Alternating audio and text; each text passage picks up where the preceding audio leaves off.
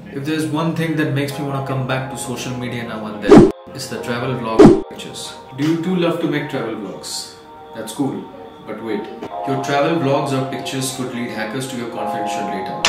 Yes, say for example you upload a travel picture with your car in the photo that clearly shows the number plate.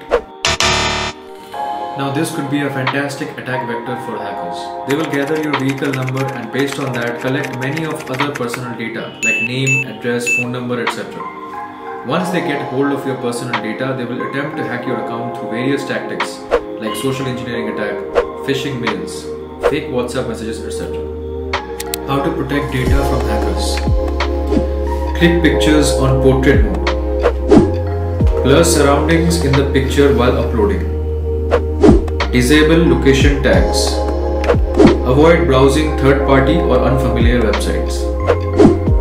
Don't click on random ads or mails sent from unknown sources. If you want to know more about cybersecurity and preventing